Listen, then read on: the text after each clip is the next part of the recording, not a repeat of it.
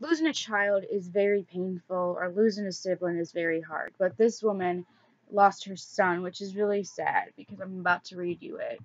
Little Women Atlanta star Emily Right Cheek Fernandez mourns the loss of her newborn son, JJ.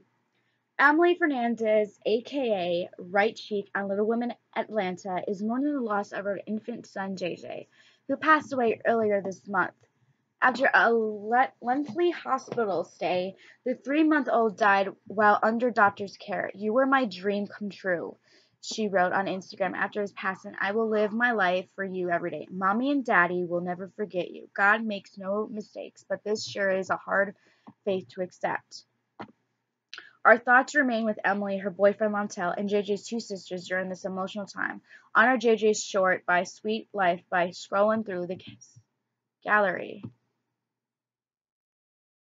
He's really cute. It's sad. I mean, losing a baby is, I mean, losing a dog is one thing, but losing your baby is another thing. I mean, I cannot, I don't know how to explain it, but I don't know what she's going through, but I think I've been there, but um, losing your baby is another. I mean, when you lose your baby, you lose your life.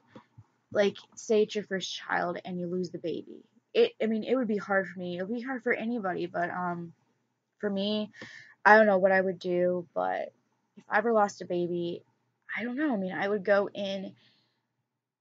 I would probably cry every day because um, I adore children, and I don't think that unless they're really, really, really sick. Um, but I feel really bad for Emily because in in the season two of Little oh, three, Little Women Atlanta, she he had to get so many surgeries. It's not even funny. Mm. But he's adorable. Oh my god, it's it's sad to see pictures of him.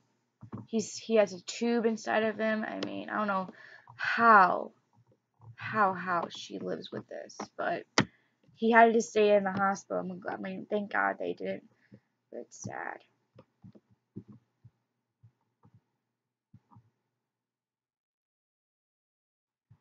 Alright, thanks guys for watching. We have more news coming up next.